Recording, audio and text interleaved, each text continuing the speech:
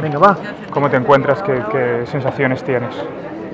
Bueno, ahora encontrar me encuentro bien, estoy con muy poco dolor eh, y nada, ahora esperemos, eh, ahora que llego al estadio estará eh, Arriaza y después eh, mañana hacerme los estudios para ver qué, qué tengo. Sinceramente me encuentro bien, pero no, no sé qué, qué va a pasar. ¿No tienes esperanzas de que sea menos grave de lo que parece?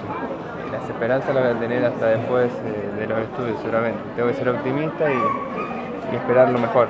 La verdad es que estás teniendo muy mala suerte, ¿no? A lo largo de casi toda tu carrera, desde que llegaste aquí, estás teniendo una suerte bastante... porque este año era el tuyo.